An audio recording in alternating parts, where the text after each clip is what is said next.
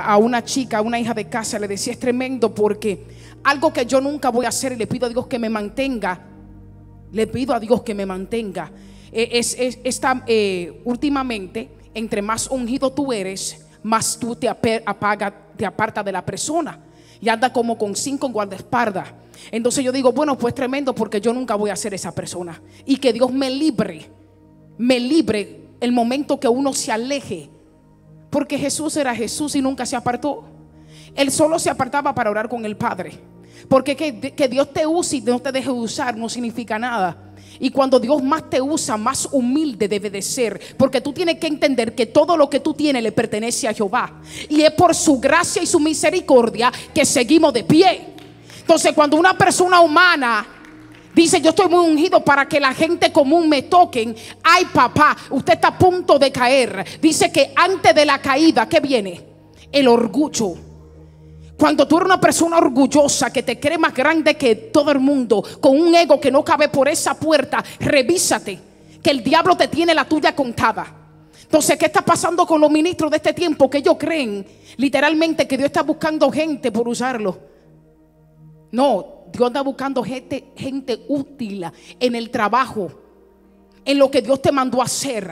A Dios no le importa de qué familia tú vengas. A Dios no le importa si, si se, mire, mire, usted está pasando hambre ahora. A Dios no le importa si usted vive debajo del tren. Si Dios te dijo que te va a usar, lo va a hacer. Pero algo tiene que tener pendiente.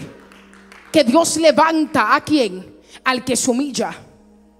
Dios levanta al que tiene un corazón constrito y humillado. Dice que Él nunca rechazará a esa persona. Por eso que muchas veces la gente pueden hablar, pero nunca van a entender. Porque dice Dios que Él pesa los espíritus. Él sabe quién le habla. Él sabe quién lo busca. Por eso que cuando tú ves que gente vienen aquí profeta y van siempre a la misma persona, ¿por qué será? ¿Por qué los profetas le hablan a la gente que buscan? Yo puedo ir de visita a un lugar o pasan dos cosas. O el profeta solamente me profetiza a mí o me ponen a predicar en esa noche. Yo voy a lugares y me dicen, Dios mío, pues tú tienes que pagar el ticket del ministro, ¿era? Porque solamente se llevaron la palabra Mars Ministry. ¿Pero por qué? Porque el que busca lo encuentra. Y el que le toca le va a abrir.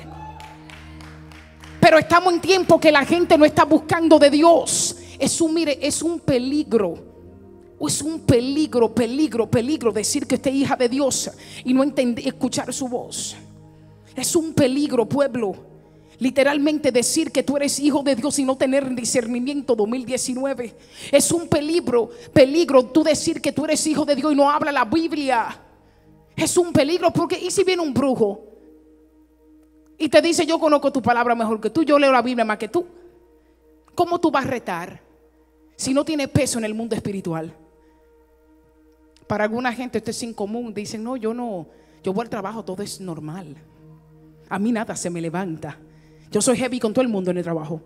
Con el jefe, el que limpia el baño, la que, recoge la comida. Le voy a decir una cosa, eso no es muy de Dios. Si tu vida espiritual no trae confrontamiento a los demonios, algo está pasando.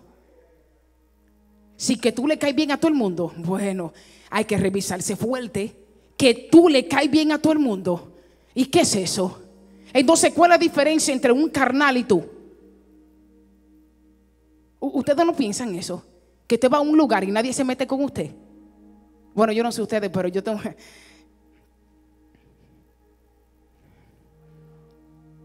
Hay personas que creen que eso es bien. Ay, no, yo quiero estar en paz con todos. Sí, dice la palabra así, sea pacificador. Pero no es que el diablo no te tema. Hay personas que el diablo dice, no, yo no, tú eres de lo mío. Tú y yo estamos en el mismo bando. Tú dices que eres, pero no eres. Estos tiempos son reales. Si usted no sabe para dónde usted va y para dónde Dios lo llamó y para que Dios te tiene en este camino, hay un peligro. Desde que yo pisé el reino de Dios, Dios me habló a mi vida y me dijo exactamente dónde tenía que estar.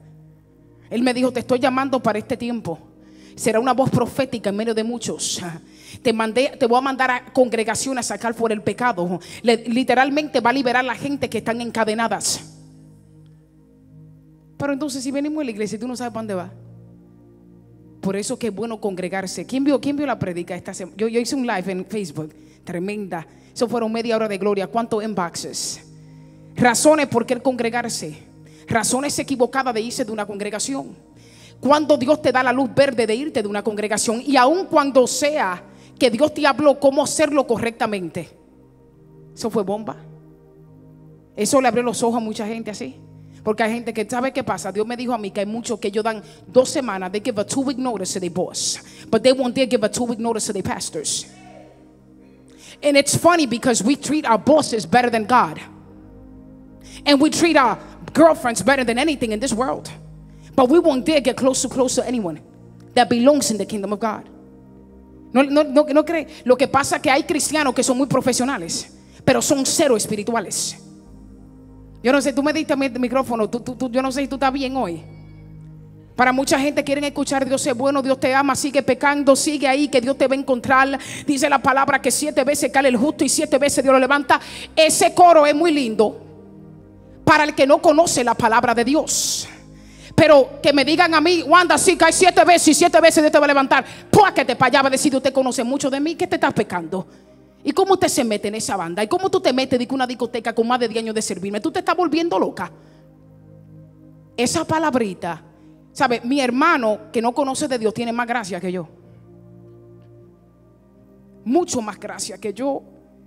Tu hermano y tu hermana que no tiene conocimiento de la palabra, tiene una gracia tremenda con Dios. Porque ellos no saben, dice la palabra, es mejor que nunca me haya conocido que conocerme. Ay, Dios mío.